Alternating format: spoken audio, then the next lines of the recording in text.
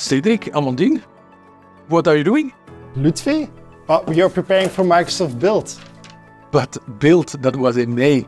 Yeah, but Lutfi, what if we want to start way too early? Well, he, he can know, right? Okay, This is not Microsoft Build. This is the Microsoft Build Spotlight coming to Belgium. And honestly, it will be an exclusive event where we will talk about the latest technology and it will be mind-blowing. I promise you, Lutfi, mind-blowing. Well, sounds very exciting, but uh, please don't stay too long. Promise.